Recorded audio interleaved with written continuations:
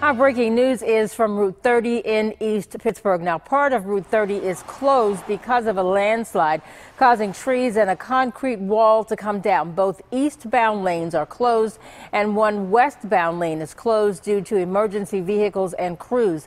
This is near that same landslide that destroyed part of Route 30 earlier this year.